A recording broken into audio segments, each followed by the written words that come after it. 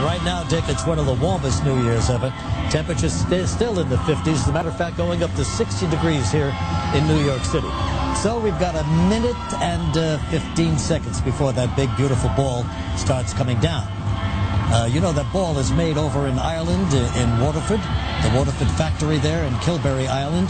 And they do an amazing job. Look at all those lights, all that work that's gone into it. And they take the ball right to the train station there. And They ship it off to the Dublin airport.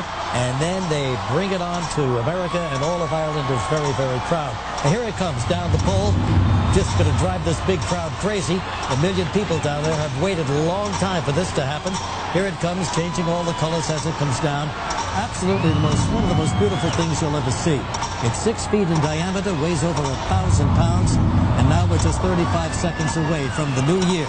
This new year. We're welcoming in this new year and hoping it's going to be the best year all of us have ever had. Let's hope it is. 25, 24 seconds, 23. Here it comes, getting closer and closer. Down to 20 seconds now, 19, 18. Wow, what a great sight, huh? Isn't this, it really is exciting. Now we're down to 12 seconds and 10. The crowd getting louder and louder. Listen to them. Here it is. Six,